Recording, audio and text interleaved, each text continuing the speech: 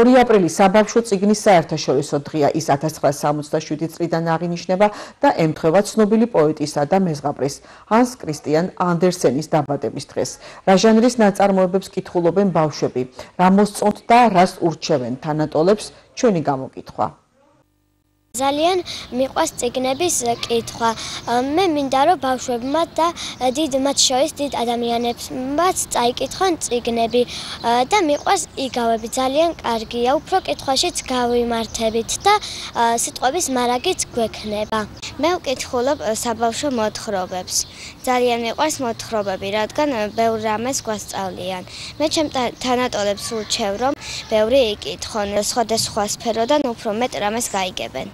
მე ძალიან მიყვარს სათავგადასავლო ციგნები. მე ვფიქრობ, რომ დიდებმა იმისთვის წაიკითხონ, რომ ჭკვიანები და განათლებულები იყვნენ. მაგალითად, მე ძალიან ბევრ ციგნებს ვკითხულობ.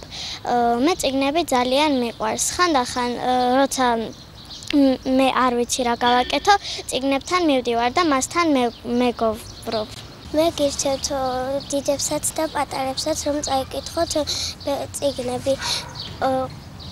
მე მეყვარს იგავები და მოთხრობები. მე მომწონს სათავგადასავლო წიგნები და ენციკლოპედიები. ყველას ვურჩევ დიდებსაც და პატარებსაც რომ წაიკითხონ ბევრი წიგნები რადგან კონდეს ბევრი ცოდნა. მე ვკითხულობ ზღაპრებს. ზოგი მოთხრობა ძალიან მომწონს, მაგრამ ზოგი ზოგი არა, რადგან ზოგი პერსონაჟი თუდად იქცევა. თანატოლებს ურჩევ, რომ იკითხონ ციგნები და მიიღონ განათლება.